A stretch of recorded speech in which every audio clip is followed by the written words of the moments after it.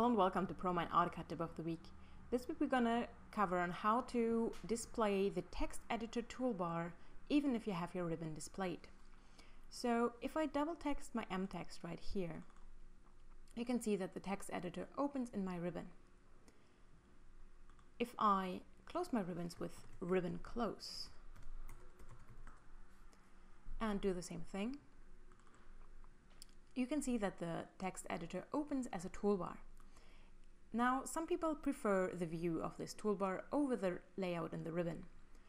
If you're one of them, you can just go back and display your ribbons because you like ribbons as well. And then go to mtext toolbar and set this value to 1 instead of 2.